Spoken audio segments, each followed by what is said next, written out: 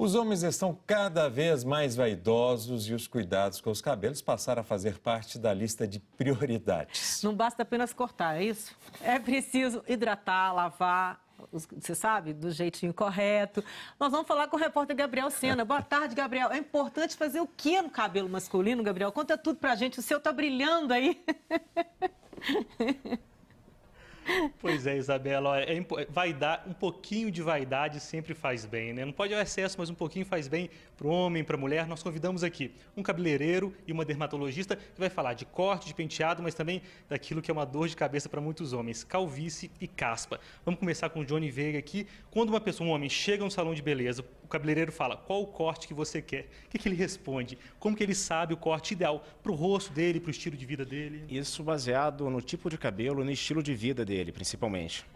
É difícil saber, né? Assim, tem muito. Exatamente. Nós temos várias opções de estilos de vida, estilos de cabelo e sempre respeitamos isso. Então o negócio é entregar para um bom cabeleireiro e deixar e que confiar. Ele Exatamente isso. Tá certo. Olha, nós convidamos aqui três homens com cabelos diferentes, idades diferentes.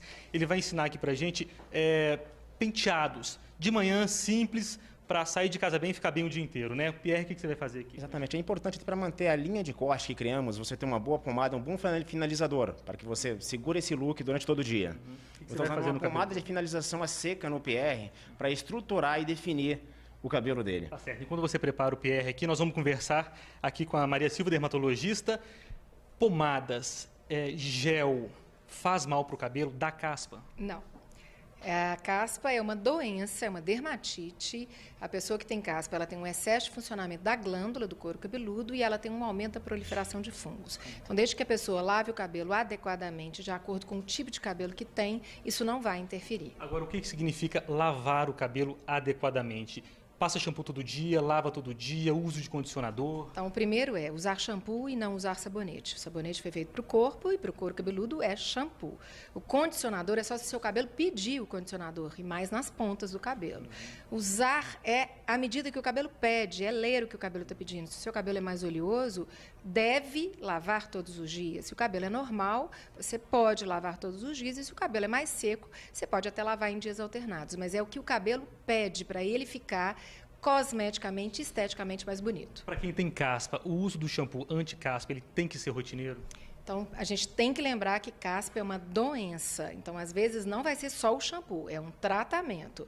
O shampoo é um shampoo adequado para o que ele tem e, às vezes, remédio, medicação de usar no local. Então, caspa é doença, não é só falta de limpeza, não. Boné e chapéu. Então, não caspa. tem problema nenhum.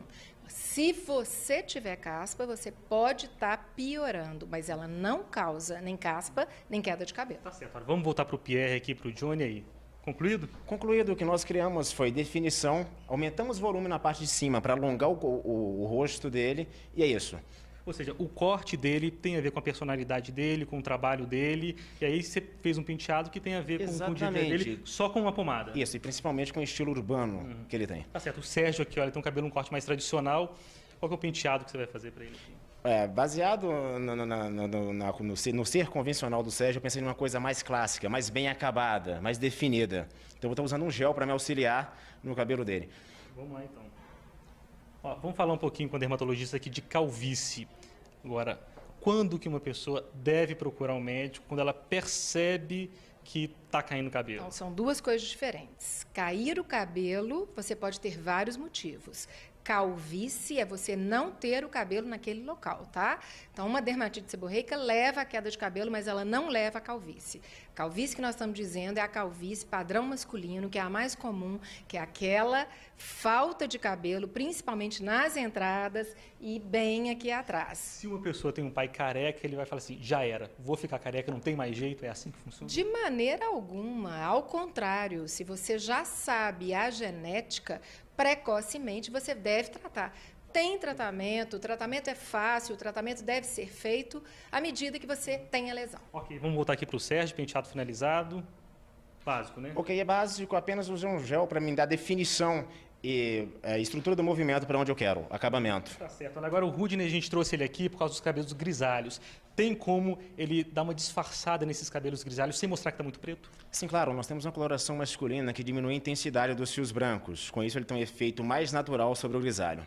Então tem jeito, né? Sem, Sim, sem claro. parecer. Exatamente. Olha, pessoal, muito obrigado pela participação de vocês dois, de vocês três aqui também com a gente. Muito obrigado, acho que foi muito esclarecedor. Isabela, Arthur. Obrigada. E o cabelo dele, né, do profissional, também está muito na moda, né, gente? Bem, é, tira a cor, né? Ficou tudo louro.